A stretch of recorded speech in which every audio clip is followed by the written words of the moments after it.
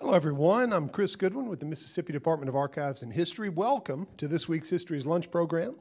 We're in our home, the Craig H. Neilsen Auditorium in the Museum of Mississippi History and Mississippi Civil Rights Museum. And we're streaming live, I would normally say at this point, on both Facebook and YouTube. Today looks like just Facebook. We'll work on it. And those videos are available to watch anytime afterwards. And if you've not already done so, please silence your cell phones. Our new temporary exhibit of rarely shown flags from the MDAH collection has opened upstairs in the FedEx Exhibition Hall. Admission to the exhibit is free, as is admission to the museums for History's Lunch attendees, so take advantage of that. We're excited to partner with the Mississippi Book Festival to welcome back Eddie Glaude Jr. tomorrow, April 4th. Beginning at 5 p.m., he'll be signing copies of his new book, We Are the Leaders We Have Been Looking For, and we'll have copies for sale here.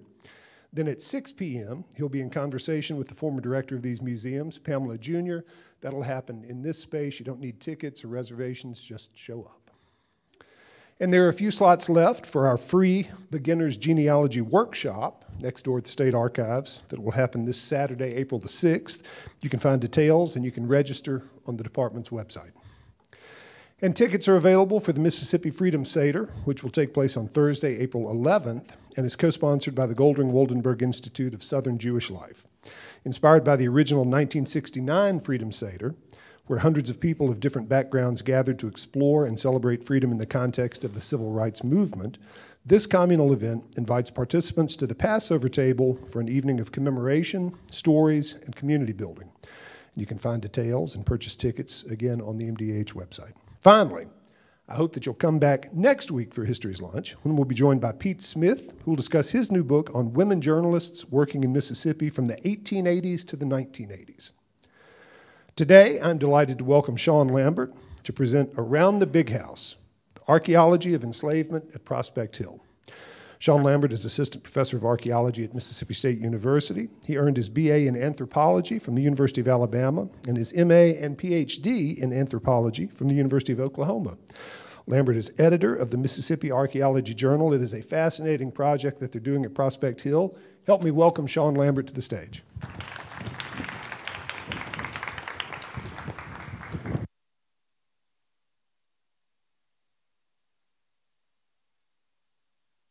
About some really cool archaeology. There it goes. Awesome. I'm going to have to get used to this. I put this on, I felt like I was at Star Trek, so I'm to I have to get used to it. Um, as Chris said, I'm an archaeologist. I'm a Southeastern archaeologist, and um, I wanted to put that it wasn't just me doing this. Uh, I have a, some co um, uh, principal investigators working with me. We have some cultural anthropologists, uh, Dr. James Andrew Whitaker, as well as a biological anthropologist, Dr. Angela Dautartas, um, both at Troy University, who is working with me on this Prospect Hill project. And I'll get into more uh, of that here in a little bit. But I first wanted to talk to you about kind of what kind of archaeologist I am. I think if we look at the kind of the history of archaeology, a lot of the archaeological information has been kind of um, unidirectionally back and forth to each archaeologist. So that information, a lot of times throughout history, has not really gotten out into the public. So the last 20 or so years, especially the last 10 or so years, um, there's been uh, a, a, kind of another type of archaeology called community engaged archaeology. And that's kind of the archaeologist that I am.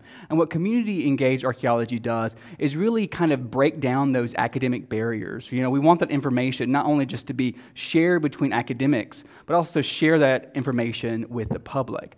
And it's to use that power of archaeology and that generation of archaeological knowledge to actually, you know, think about archaeology and interpretation of the archaeology in very imaginative ways. And so one way we do this as a community archaeologist is really trying to incorporate as many voices as possible. So this is um, kind of hard for archaeology because we're not really trained to do it this way because we kind of some way feel that we're kind of harbingers of that knowledge that we, if we're working on a site for multiple years or maybe that a site for our entire career there's some field of like internal ownership of that site but for our community engaged archaeologists we work together as a community. Um, and this involves a lot of different voices people with diverse backgrounds descendant communities the public and we're all working together to try to interpret the site um, and, and really create a much richer narrative of the past and also build um, collaborative relationships and not only the collaborative relationships but intellectual relationships with the public and with the descendant community. So that's my primary goal here when I work with these uh, uh, types of sites like Prospect Hill throughout Mississippi. Um, so Prospect Hill is a kind of a early 19th uh, century plantation site um, in uh, Jefferson uh, County in the southwest Mississippi. It's just outside of Natchez, uh, one of the most beautiful places to go. Uh, I just visited Natchez when I first got here, uh, becoming a professor about five years ago, and that's it's one of the most beautiful places, and I like to go and uh, as many times as possible. And what you see here is the standing, uh, the standing plantation, the big house, the main house. And we'll talk more about that um, here in a second. Um, but what, uh, Captain Ross, um, from the early 1800s, Isaac Ross and his wife Jane, as you can see on the uh, see below, uh, came, uh, came down to Natchez uh, in 1808, um, where they brought um, their family, their children, and approximately 60 enslaved uh, individuals. They moved to South Carolina and went to uh, Mississippi, and they built the first house um, that is Prospect Hill. Um, and they purchased several hundred acres at that moment. Um, and this is uh, their daughter, Jane Ross Wade. And as you can see, um, their, their children, Walter Wade, is grandson, Isaac Ross Wade, which I'll talk about more in a second because he's kind of a pivotal character in the history of Prospect Hill. Um, Isaac Ross lived for a while in Mississippi, but he, however, he died in about 1836, so about you know 30 years um, living at Prospect Hill. And interestingly, he, uh, he left a very large estate, and something that's a little bit different from um, his will than other plantation owners at the time is that uh, he uh, decided uh, to uh, uh, not only give much of his wealth away, but he also decided uh, that he would, uh, you know, free um, most of his the people who were enslaved at the at the Prospect Hill site.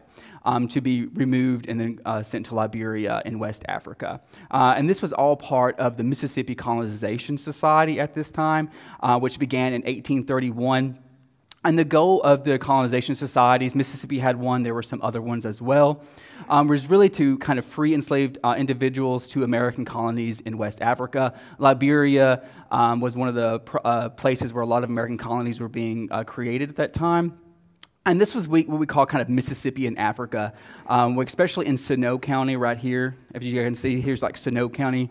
Um, and, and Greenville is where um, most of the Prospect Hill enslaved individuals um, went to, and they settled at that area. And we'll talk more about that because Liberia is a huge connection um, because this is what this is happening is this is a really interesting reverse African diaspora. So rather than enslaved people coming into the United States, it's the reverse. United, they're leaving the United States and going back to West Africa. And this is really interesting. I don't know if anybody's gone to Liberia. Um, we're planning to go next year. I'll talk about that in a second. But a lot of places in Liberia and the surrounding have Mississippi type names. Uh, and uh, it's because of that Mississippi um, African connection. And uh, the actual the settlement's capital was named Greenville, not from Greenville, Mississippi, because we, we always kind of get that kind of mixed up, but it was after James Green, a major Natchez area planter who supported the cause um, during that time. Now, I do want to preface that this was kind of a progressive movement back in the 19th century, um, but it was still highly, uh, if we look back retroactively, it was still um, racially motivated. So it's important to understand that one of the reasons why they were so called freeing individuals to West Africa is because many of them didn't think that they could stay uh, successfully in the United States at the time. So we have to understand the, you know, the negatives and positives um, of, of this movement. Unfortunately, the grandson, as I talked to you about three seconds ago, so the grandson, Isaac Ross Wade, what happened is that um, when his grandfather passed away, he uh, did not want um, to uphold the, uh, his grandfather's will. So, I really was like a nine year court battle that ensued that pretty much um, uh, created this liminal space the, um, for the enslaved people who were going to go to Liberia for nine years. They finally won the case, and then um, finally um, uh, they were able to, uh, to, to leave to West Africa. Now, on April 22nd, 1845, one of the reasons why it took this long uh, is because uh, a fire destroyed Prospect Hill. So it, uh, it happened in the middle of the night. Um, uh, the fire started, people left, one, person, one individual passed away, um, and uh, killing uh, Martha Richardson and, uh, and this is her uh, tombstone that's at Prospect Hill now. And there's a lot of re- interesting stories kind of around that, um, around that event. Uh, uh, a lot of people were blaming the enslaved individuals at that time for causing the fire. Um, some say that it was just, you know, a, a, lantern that had fallen over. So you get a lot of competing uh, stories about actually what happened there. And I, if you kind of look at some of uh, some of his grand, the grandson's journals at that time, he was kind of using that as a kind of excuse um, uh, to kind to make sure to keep as many enslaved individuals as possible. but it didn't happen. So nine years happened, and then they finally the passengers were able to sit on the ship um, sailed to Liberia from New Orleans. Unfortunately, by the time many of them got to New Orleans, there was a, like a major cholera outbreak at that time. So several people didn't make it. They died in New Orleans because of that outbreak. Um, but many uh, people did uh, survive and go to Liberia. And what's really amazing now, what's really what was kind of propelled this project is those, those descendants of those uh, of the people who moved to Liberia are living today, and they're understanding this really interesting kind of global connection of with them and Mississippi. Um, so we're working with cultural anthropologists who work in Liberia, working with those descendants to kind of do archaeology here in Mississippi, um, and starting to work with local descendants here on that site at Mississippi to kind of kind of understand this kind of global history that connects Mississippi and Liberia together. Now, of course when they get to West Africa, eh, they were promised um, a lot of resources, a lot of money to kind of start their new settlements at that time. Now, unfortunately, if you uh, they wrote back to the, Amer- to the Mississippi American uh, Colonization Society and unfortunately, what they were saying is that you know they weren't really promised what they were promised was not given to them, and, and they were really upset, um, and they didn't really know what to do, uh, and so it was very hard for them. So they sent letters, and those have been kind of published um, in this book by um, Wiley, and it just talks about the struggles that they were going uh, going through at that time, um, about kind of being in a land that you know they don't know, and the um, and the struggles of being, trying to start a new lives in Liberia. So it did take them a long time um, to get settled um, in West Africa. Now, the new house, um, after the first house burned, the new house was built in 1854, and here's some of the photos from the 1940s. And even in the 1940s, you can kind of tell that it wasn't quite good looking, um, and that there's still some uh, several structural issues, and that's still plaguing that house today. Um, and so here's some really um, interesting, really interesting photos. Uh, and here is this one right here is kind of an interesting drawing um, of one of the uh, of one of the descendants of, of where the house was and what the internal uh, rooms were of the house. And right here is known as uh, either the kitchen house or the laundry house. And this is the area that we excavated last year. And this is the site that this is the area um, where we're going to be excavating uh, in this summer.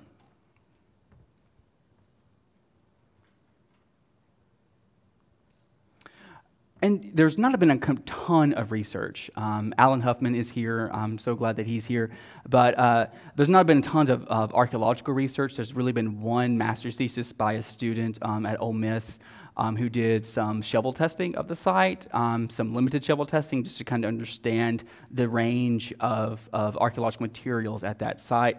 Um, but other than that, there's been no larger scale excavation, and there's really been no uh, focus on the spaces of enslavement where the people who were enslaved were living and working.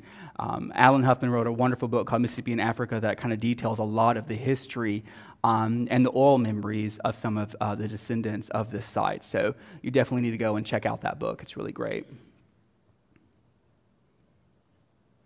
Now, in 2011, um, the Archaeological Conservancy decided to actually purchase Prospect Hill. So they purchased the house as well as a few acres. And then by 2012, um, they purchased an additional 20 acres. So, so the Archaeological Conservancy owns about 23 acres of Prospect Hill. Now, that's just a way less than 1% because uh, it, I think, was almost 4,000 acres um, that, that the plantation was just at 4,000 or just over 4,000 acres. So there's a lot of uh, area that we don't, um, that, are, that are owned by private owners. So maybe that's something that we can work for uh, towards in the future is like working with the landowners um, to maybe do some archaeology and some work out there as well. so we worked out there last year from June 18th to 26th. It was really, really hot. Uh, I don't know if you've ever been to like Southwest Mississippi or Natchez area, but it's just like a soup bowl. Uh, and um, you get there for five minutes, and I'm just absolutely covered in sweat. Um, and it's pretty much that happens in Prospect Hill. And we went there June 18th, 26. What was special about this one, it was completely open to the public.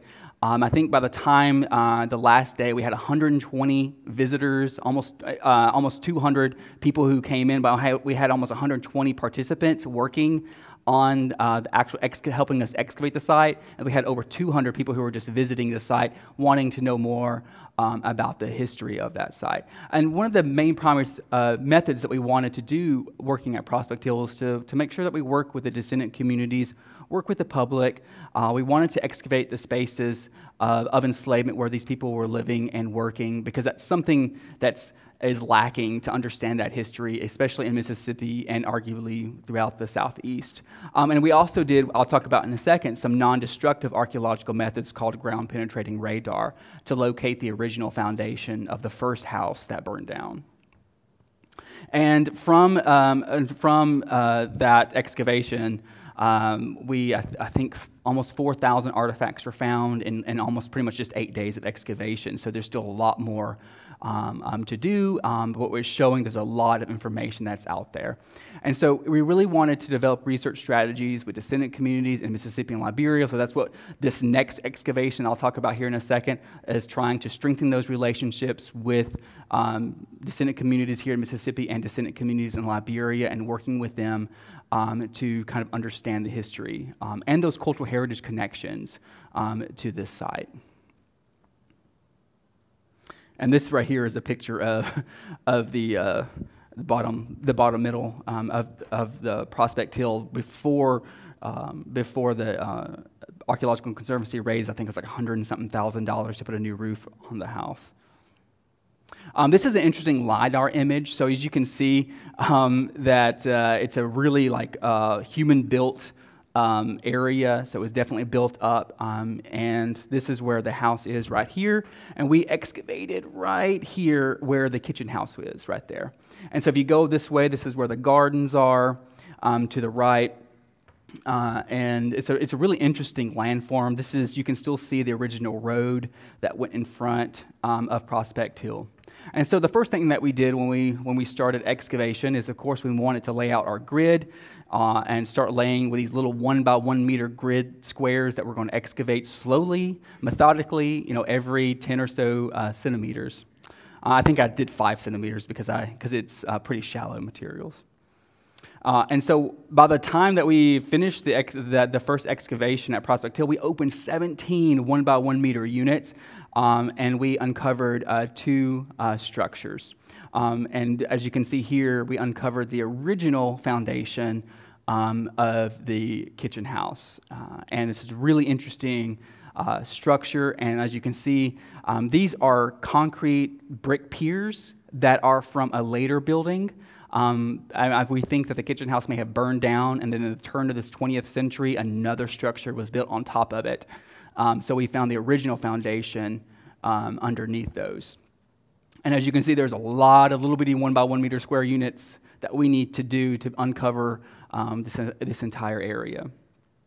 And we still have no idea what this is. Um, so that's another goal for uh, this summer is to figure out what the use of this building was. It could be either a smokehouse, it could be an outhouse of some of a sorts, um, it is kind of nice because it kind of slopes down, um, and so an outhouse because it's kind of away. The it, the the wind moves into the woods. So if you're if, it's, if you're going to use a restroom, you know it's it's a good and it's far enough away from the house that makes sense. Um, so if anybody want to excavate that this year, that would be great. Uh, eh, you guys laugh, but it's like the, the coolest place. It's like the that's like where all the cool stuff is. And don't ask me why, but that's just where all the cool stuff usually uh, happens. Um, but the main point of this excavation um, was yes to discover the art, discover the artifacts, discover the objects that tells us the story of the past and how that resonates um, today, but it's also really wanting to work with the public and educating the public, working with the public, and learning from the public at the same time, learning with one another, and just doing some really fun science outside and not trying to pass out. And here's another one. Here's uh, this is a, a, busier day for us, and so I think this was that mid mid excavation. As you can see, we had already opened several several units. The cool thing is we're, uh, we're under shade most of the day, which is really nice, um, um, but it's still like 100 100,000 degrees, um, and yeah, and so the the other structure that that you guys are going to excavate is down down here a little bit. Um, and so we had a lot, like I said, a lot of visitors. We had hundreds of visitors coming in, some who just wanted to look at the house, someone who just wanted to look at the cemetery of the family who are buried there, um, and some who really wanted to get, you know, and dirty. And uh, we have one, Miss Martha, over there who uh, worked with us for several days, her and her daughter, and she did an, they did an amazing job, um, arguably better than some of my um, undergrad students. Um, I won't tell them that, though. But. Uh, and so what we want to do, we, we found the, the actual original foundation, which is we wanted to see that intact. We didn't know if it was completely destroyed or if it was um, a newer building. So when we found those older bricks, we knew we were hitting an early 19th century to mid 19th century structure. And these are, the, these are the newer bricks. So you can kind of tell the difference between the older bricks right here. They're a lot more fragile, um, um, they're easy to break, and these are much higher fired brick, probably the turn of the 20th century. So this, these uh, uh, foundation piers and this foundations are completely two separate buildings. Now, what's really cool is that we found a lot of amazing artifacts, which uh, um, that really helps starts to tell the story of what was going on and, and kind of um, brings life into the, the life of the enslaved history um, in Mississippi and at the site. Um, one of the cool artifacts that we found, we were finding internal features um, of how the house was built. Here's found the front door lock plate that was still um, together right beside each other. Uh, and so that was a really wonderful find we, one of the most ubiquitous or the most commonly found artifacts that we find are ceramics. And I don't know how many people love ceramics, but I am, I am a huge ceramic fan. So I love, I love pre-European context ceramics all the way up ceramics uh, to pre-Civil War. So ceramics tells, tells us a lot about the people who are using them, um, for different purposes, uh, from domestic um, to special events. It also tells you which ones are really inexpensive, but also which ones that were really expensive. So it kind of tell you the social, economic, um, dynamics and the social inequalities that were happening at that time. And so, as you can see, we were finding a lot of these really beautiful blue um, uh, transfer printed stuff that's really, really expensive, but uh, most of the stuff that we're finding in the kitchen house um, were inexpensive, inexpensive items. So here at the top, right here, uh, the top photograph, uh, the top photo is what you would more find in, uh, in, uh, in, an area of enslavement where people were living. Uh, and this is kind of your blue shell edged whiteware. Here's another type of scalloped version of that blue shell whiteware. Here's your polychromed, hand painted, probably a bowl or a teacup. And one of my favorites um, are mochaware. Um, these were incredibly cheap to get, and everyone had, many people had access to those types of objects.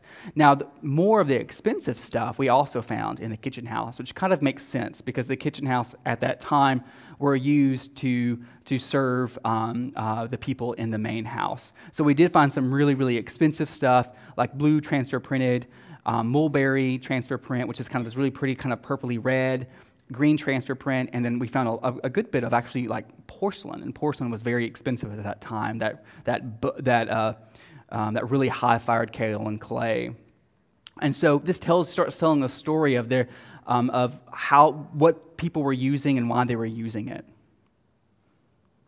Um, we found in almost an entire set of um, cutlery, um, kitchen um, uh, items like these.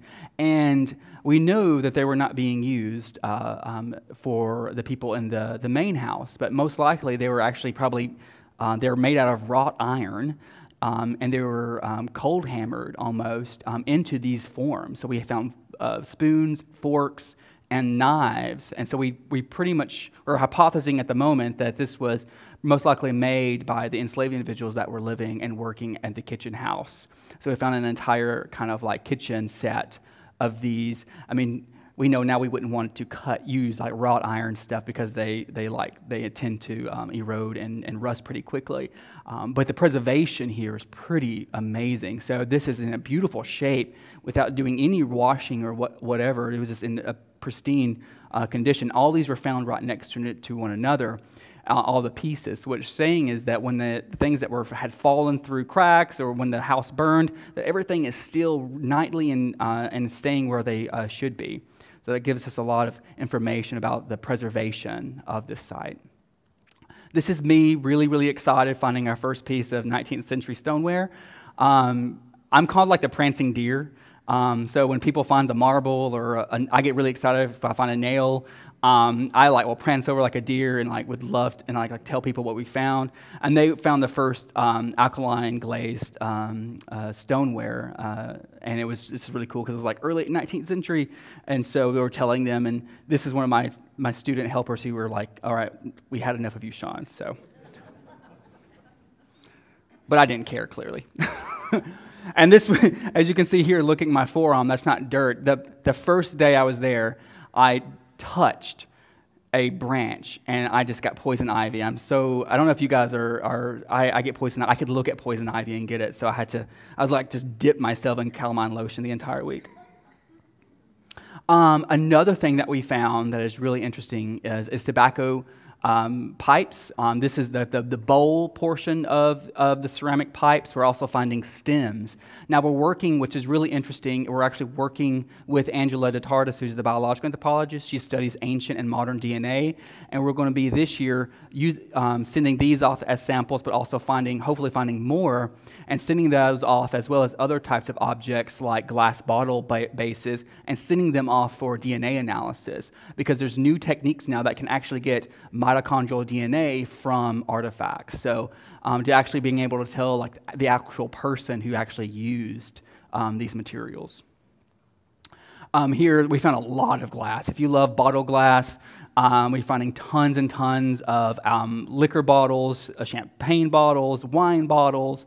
Um, uh, yeah, so it was just amazing set of, of different types of glasswares. Uh, I love nails. I can't say that enough. Nails tell you so much. I know it seems like I'm very much of a nerd in that respect, but nails tell us a whole bunch about in terms of the history of, this, of the structure and the different structures that may or may not have been there.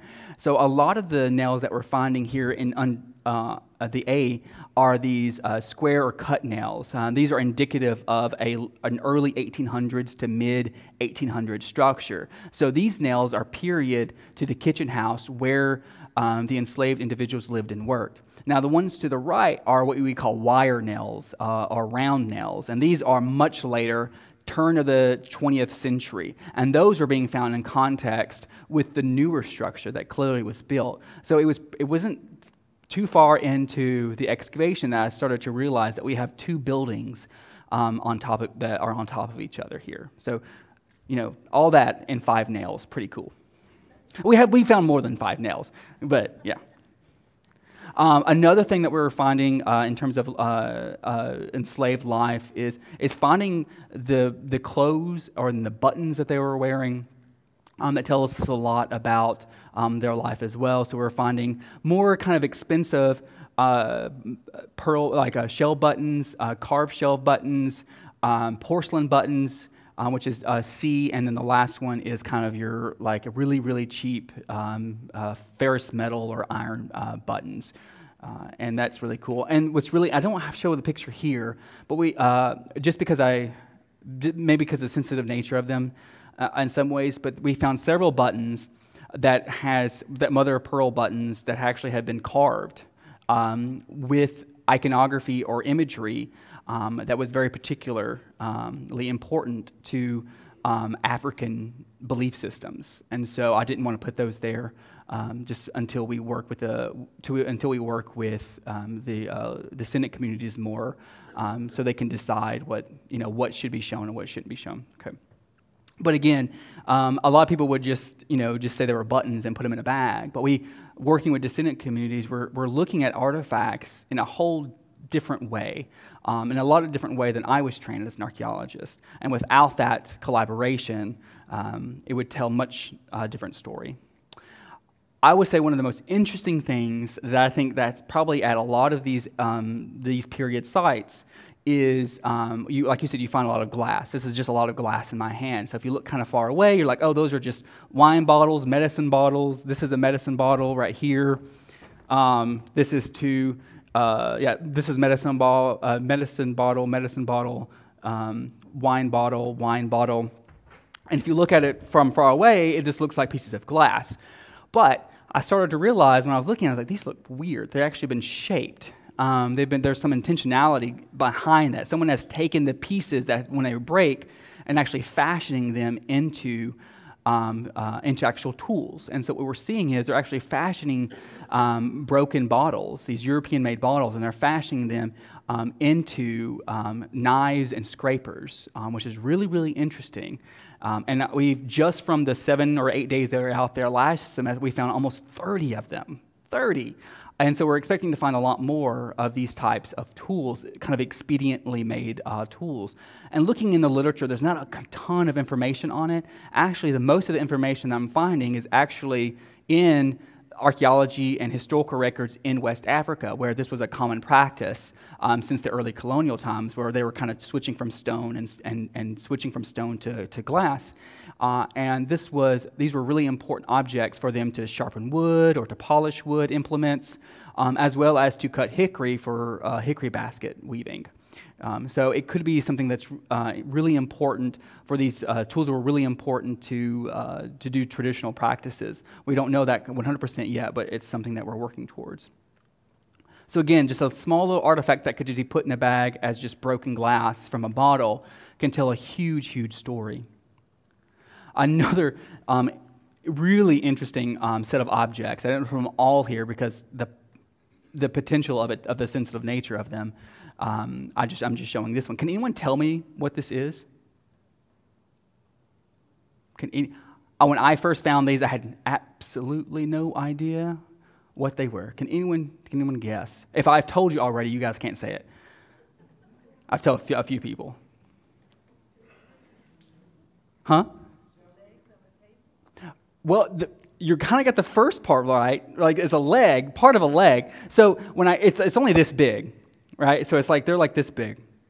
And we found them, and I had no idea. I was like, is this bone? And I was like, it looks like bone. I was like, but also kind of looks like a tooth. I was like, it can't be tooth.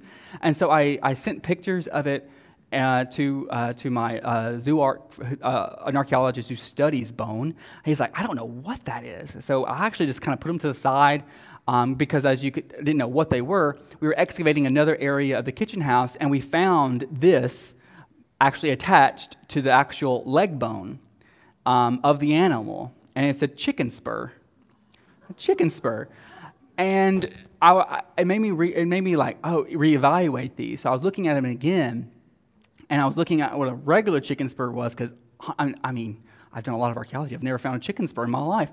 Um, and so I was looking at chicken spurs, and they look a lot different than this. And so I was studying them more. These have been polished, they've been ground down, polished, and as you can see, uh, and then also cut, intentionally cut from the femur of the chicken, and uh, an incised groove on both of them um, have been incised around it. I had no idea what this would mean, so I scoured other um, um, uh, plantation reports um, and I actually did find two other in, uh, uh, um, examples at plantation sites in the southeast where they found chicken spurs that had been altered in a very similar way. And then, then I went to, to stuff in West Africa and working with the Liberian descendant communities over there, and they were saying that um, these were kind of like um, protection, that they would wear these around the neck and like as some sort of amulets of some kind. Um, we don't know that 100%, but it's really interesting that this could be. This was actually in, within an actual uh, feature as well. So not only did we find the chicken spurs, um, we found um, a, a, hawk's talon, a wildcat's tooth, um, a hog's tooth, and there were some other teeth I had no idea what they are. We're, we're working to, get, to, um, to figure those out, all discreetly um, and it seemed like they were wrapped in something at some point because they're all really tightly together. And this, we found this um, someone had buried this at the entrance of the enslaved dwelling.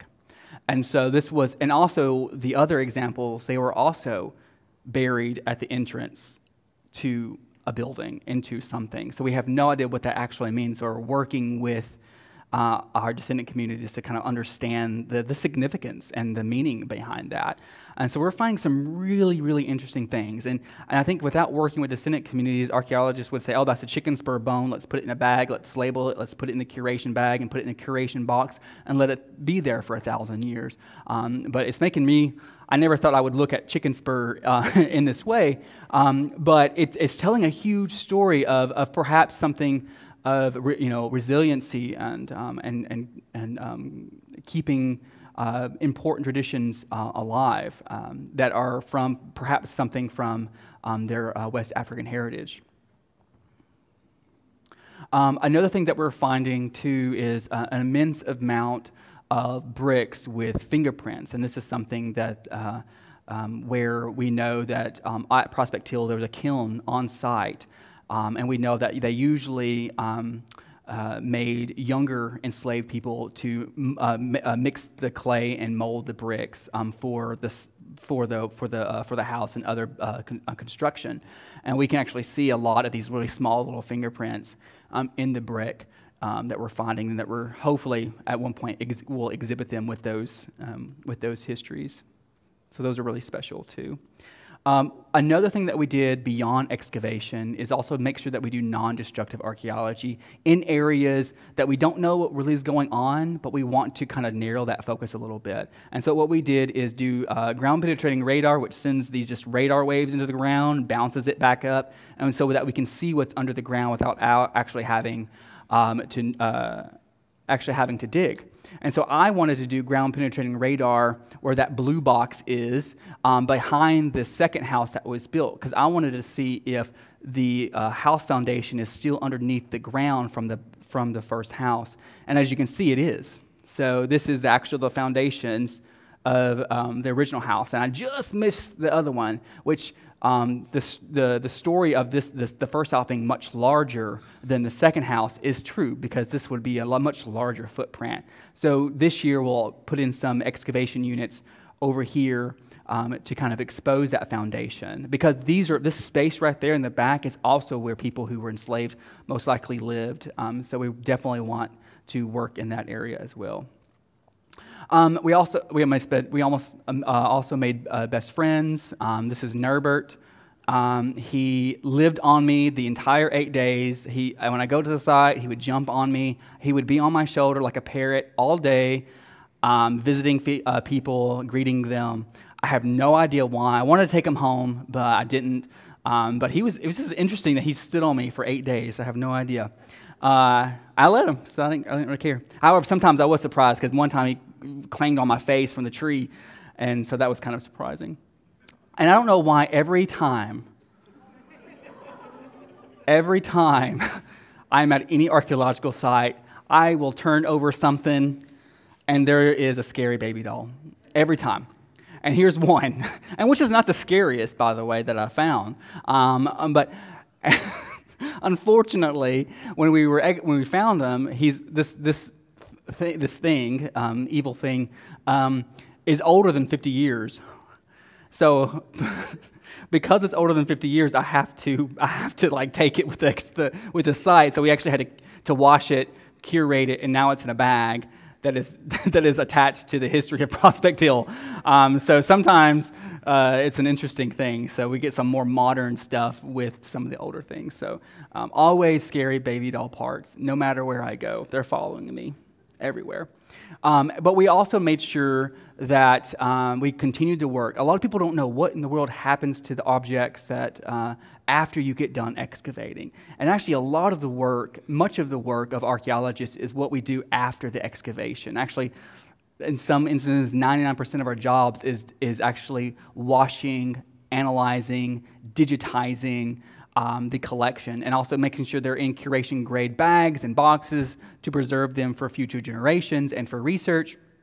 Um, and that's what we did. So, pretty much right after uh, that excavation, we wor- I worked with some students who uh, did all that washing, curating, digitizing the entire collection. Um, so now we have, I have no backlog, and so now we're ready for this year um, to get uh, another set of artifacts to bring into our lab to also process them. So it's just an important part of that.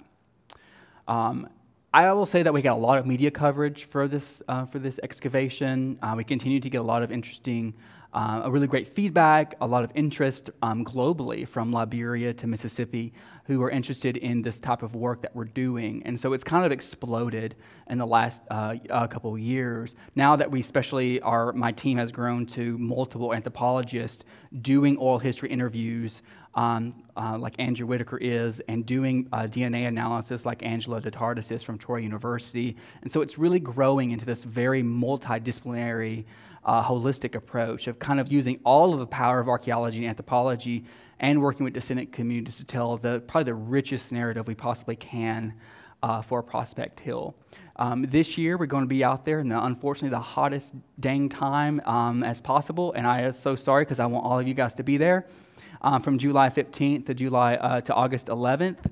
Um, we're, we're going to be working with archaeologists, descendant communities, cultural anthropologists, biological anthropologists. It's open to the public every day for an entire month, so you can be there for an entire month um, if you would like. Uh, and we're going to be doing uh, like I said, we're going to be sampling objects um, for DNA analysis. We're going to be doing oral interviews with descendant communities, doing non destructive stuff, and um, um, excavations. So uh, bring you and your family out for a day or two. It would be really, it would be a lot of fun. Uh, our next thing is we've, we've submitted uh, a grant uh, for the National Geographic, of a National Geographic grant to fund our uh, work in Liberia. So now that we're doing work here at, uh, at Prospect Hill, we are now going to be excavating those first settlements, working with the Liberian descendants and the Liberian government to do excavations at those first settlements when they, uh, when they arrived there um, in Greenville, in Sinoe County, Liberia. Um, and so we're going to be doing oral history interviews, we're going to be doing DNA analysis as well over there to understand how people moved across that landscape. And it's this kind of really global framework and the history of enslavement on a global scale from Mississippi um, to Africa. Um, and so many thanks um, to the Archaeological Conservancy who owns it and who allows us to do research there. The National Geographic, I'm just hoping I'm going to put their name in because it's like if they fund us in the next few months. Um, Mississippi State University, Troy, uh, Mississippi Humanities Council, and of course Mississippi Department of Archives and History and the two museums that um, uh, invited us here today to do this wonderful uh, presentation. So thank you guys, I appreciate it.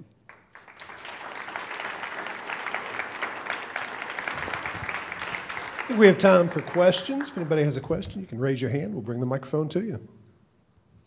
Uh, good afternoon. Thanks for your presentation.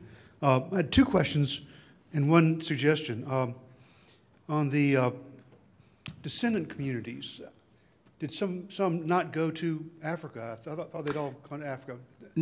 Go ahead. No, they did not all. All of them did not um, go. If you look, if you read uh, if you read uh, Ross's will, some stayed and some uh, didn't go. And that gave, he gave them the choice okay. um, to go to Liberia if they wanted to or not. Okay. So not all of them, uh, not all of them uh, went to Liberia. Okay. The second, the second question is, why would the descendant, why would descendant communities not want something shown? You gave an example of a mother of pearl carved button um, because of the, the, the, the, history of that um, and um, the meaning behind that, uh, the religious nature, the possible. The yes, because the, the imagery that was on the button um, could be high religious significance, and so it was something that we decided not to show until we work with the uh, descendant communities to make sure that's something we want to show. Um, the, the motif or the, the image that are on some of these buttons um, um, was in, is kind of indicative of, of an African cos, of their cosmological universe. So you can kind of think as a little microcosm in one little button. Um, and so we might look at it as just a button, but in some descendant communities' eyes, that could be their entire worldview. So we want to make sure that um, um, we want to show that. Uh, we get permission to show that before we do. Okay, and, and my suggestion, and my wife disclaims any responsibility for it, but the chicken spur could have been used in cockfighting. Uh, it looked like it was meant to be attached to something. Yeah, um, and so we did find some leather twine um, that was um, next to that. So we do know that it was most likely tied um, some sort of uh, a leather twine. Um, and from the context from the other um, chicken spurs and the, the, that they were found, it could be, and we're working with descendant communities to kind of figure what the actual function of those items could be. But yeah, I mean, it could be it could be something completely different. Thank you. Hi, I, I have a um, two two part question for for those um, people who went um, to Liberia. Um, what what kind? How how was the area that they settled in uh, chosen? Because I'm I'm sort of comparing it here to um, where where they put the um, Jewish people in Israel. They just designated a spot and plopped them down there, and other people are already there. And I, I've also heard discussions that um, some of the, the, the people who returned then treated the, the native like they had been treated over here.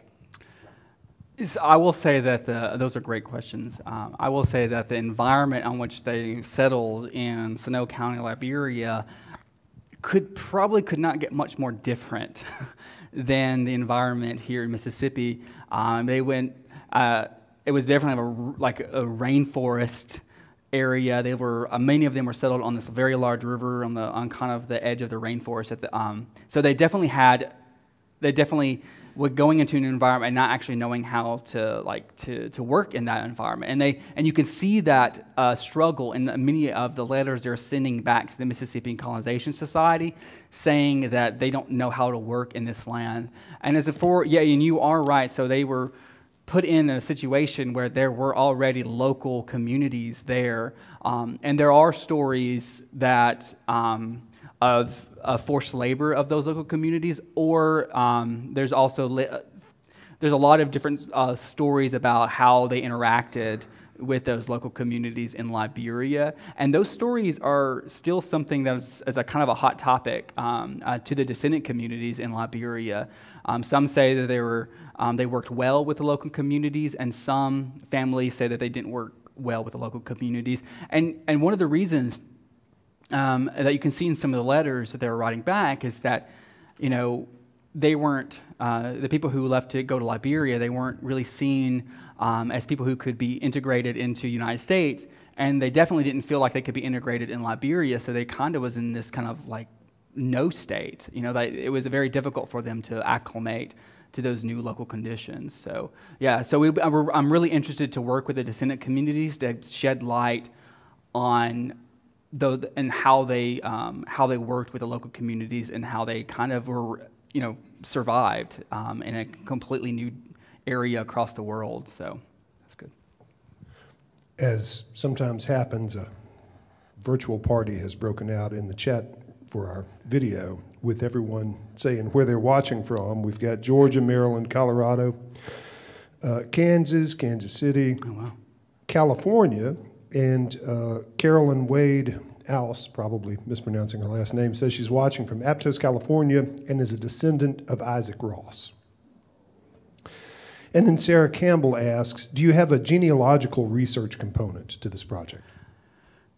It's, it's, it's, we're working with the, we're working with, uh, we can kind of start doing that working with the, the descendant communities. Uh, also, the, uh, the DNA work um, will also maybe help build that lineage, and understand the, the migration and the movement of people um, during that time. But it's very difficult sometimes. Uh, while some plantation owner, plantation owners like Concord Quarters, they were they they put the last names of the, all the enslaved individuals. So it's very, it's sometimes easier to kind of create a lineage. But Isaac Ross, it doesn't seem like he did that in, in, in, in most of his, in his will or in his journal. So sometimes it's, it's a little bit more difficult. So we're, we're really relying on working with descendant communities and their historical connections and memory of their, of their, of their familial collect, uh, connections to the site and to the ancestors. And that's something that's going to take a very long time to do. You just can't do that in a couple years to build something like that. Thank you for that um, brilliant presentation. Thank you. Quite informative.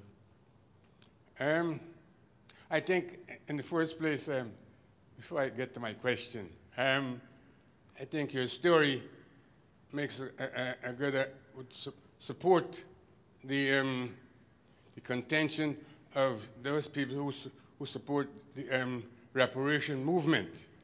I think that the, the, the, the, cultural connections and there's the economic connections of past and present societies, slave society and present day society. There's a definite connection. And so the reparation people has a good case that they could use some of your help.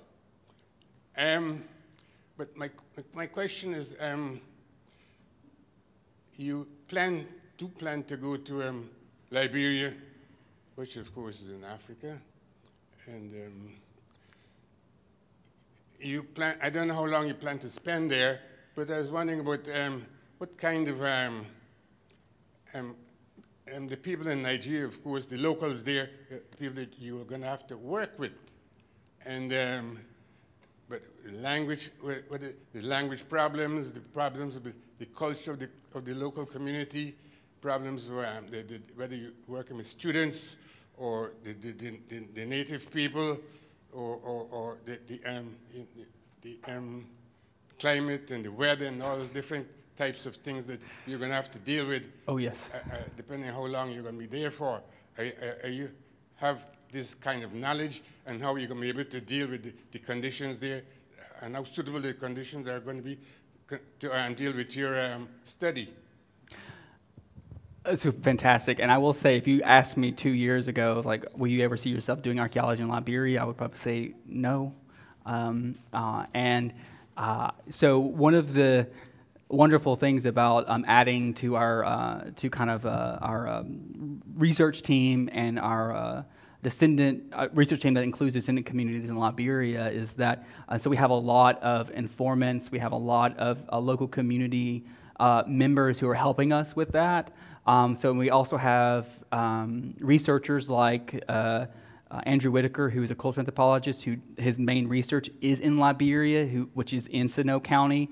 Um, and so we are working mainly through him to help us get to that point where we can create an itinerary to go there. We definitely know that we're most likely going, of course, either before or after the rainy season, um, and it's going to be very difficult. Uh, we've got to uh, we got to go to Monrovia.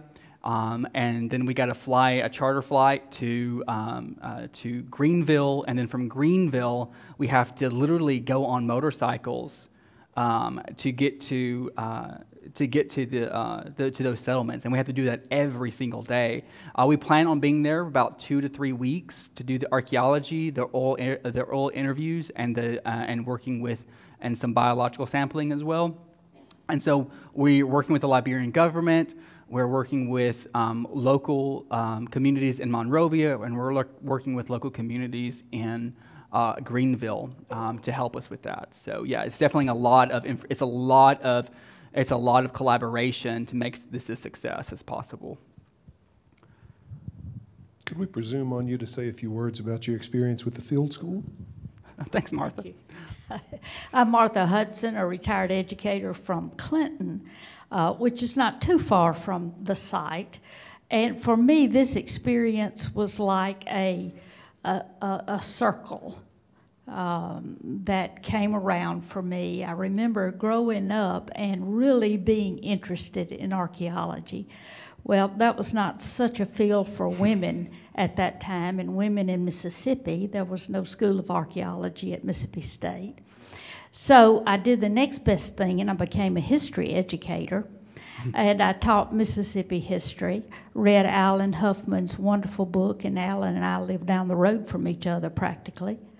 Uh, taught my students about Prospect Hill and the Liberia settlement and all. And so when I became aware that um, there was an archaeological dig, uh, being held at Prospect Hill, and that members of the public uh, with no experience uh, and who thought they could withstand the heat were invited.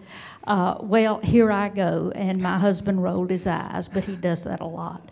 Uh, so anyway, uh, my daughter and I went out. Uh, I was able to go back about four or five days, and uh, um, it was just the neatest experience. Um, and I appreciated learning so much from Shawn, uh, giving me an experience that kind of brought me full circle, but also an experience that brings uh, this history together from one end to another and seeing what happened at Prospect Hill, looking at Liberia, and bringing that all together. And to me, that's history and archaeology at its very best. So I thank you for the experience. I would encourage those of you um, take your portable fans and head head out there. We're going to make sure to have more portable fans and running water this, this year, so. and porta potties, by the way. Yeah, so. Oh, did you not have porta potties last year? No. Oh dear. No, I know. I know. Uh, well, and I'm, after that, this is going to seem like sort of a boring question, but I may have missed it on the map. I'm an archaeologist, obviously. Um, I saw where the big house was and where the kitchen house that you did excavate, and you referenced the areas where the enslaved people were actually living, but I didn't see where that was relative to the big house. So we know that there were, uh, let me see if I can go back. Get back past the, the, the baby doll. Uh, okay, I have clearly too many slides.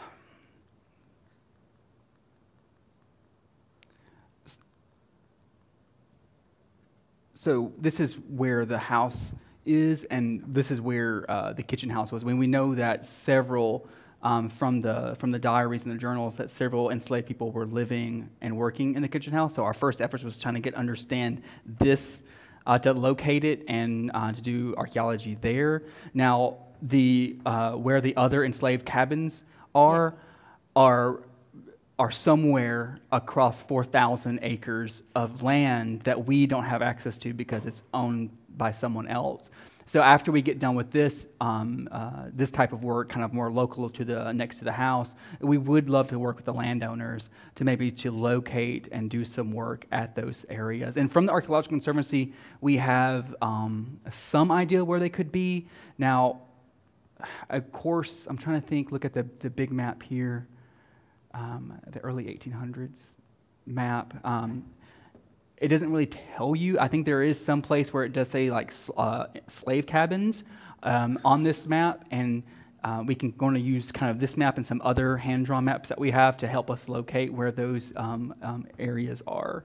Okay. Yeah. I, but there, there was information, they were actually living in the, the kitchen house Yeah, well. that's a very common. It was a, um, uh, it was a very common uh, for people to live and work in the kitchen houses, um, and especially in the in the plantation uh, plantation sites in Southwest Mississippi. It was a quite sizable. It was a quite sizable um, um, structure. One more question, real quick. Yeah. If you don't get money from National Geographic, who's funding your month in this summer? That's a good question. That's a great question. I'm not saying we're putting all of our eggs in one basket, um, but we do have. Uh, we'll we'll go to NSF. Um, uh, we'll go to NEH. Um, if we don't get um, uh, National Geographic, National Geographic is great um, because they kind of just give you the money, and because um, we won't be able to get a lot of receipts when we're in Liberia for the things that we have to do in terms of purchasing items, and so it's just a lot easier through that. Um, and National Geographic has already shown kind of interest because we've already met with the program officer, um, and so we're hoping with their work, with their with their, and this is an area that they haven't done a lot of work, um, so we're hoping that that makes it a little bit more interesting to them. So thank you. Have you found any uh, artifacts that link to other com- uh, surrounding communities? No. Not yet. We, I will say, no, I'm so sorry. What we, there is a, a Native American component to that site, uh, very small. I think we have found one projectile point, um, and it was a late archaic projectile point. Um, and uh, it was on the outskirts, and we left it where it should be. But other than that, no. Any other questions? One last question. So I've had the privilege of going to the site a number of years ago, and I see it's heavily there's quite a bit of vegetation around it as it stands right now. Do you have a sense of how much further out you might go to excavate eventually if you could? I will say, yeah, a lot of that used to be open land, so a lot, and all of it's now just wooded areas. And so we definitely would have, so it, it would be really difficult, almost impossible to do like ground penetrating radar. So we definitely would have to narrow our focus and work with landowners to be able to do uh, archaeology. But yes, we, we definitely plan on um, going past that into that vegetation at some point. I will say past that vegetation, once on you get on uh, many different uh, landowner uh, plots, is that they're very they're cleared out. Um, and we can see some evidence of older structures that could be there. That could be the slave cabin. So if we if those are it, then uh, um, it would be much easier to get access those. So yeah. Shawn, for folks who are interested in getting involved in next or this summer's dig, eh, what should they do? Should they get a hold of you? Yeah, they, they- uh, just email me. Um, also, but you, you're free to just come. Um, you don't. I don't. I'm not going to be creating a list of, uh, of people who are going to come every day. I just want you to come out. Uh, it'll be like I said, um, uh, mid mid July to, to mid August. I will be out there. So we just we're going to be starting get there from nine to nine to three. So and just have fun. Yeah. And, but you but you can find me on Mississippi State University's website. It's really easy, and I can give you my email too. Yeah. So no publication from Shawn on this yet. We do have two soon-to-be signed copies of Alan Huffman's book that'll be in the store if any of you haven't read that. Alan, you did a History's Lunch on this 20 years ago. It was, great. Um, don't forget, Eddie Glaude here tomorrow evening. All sorts of stuff um, that the department has going on. And then come back for History's Lunch next week when Pete Smith will talk about the history of women journalists in the state from the 1880s to the 1980s. For now, help me thank Shawn Lambert for this fantastic program today. Thank you. Thank you, Chris.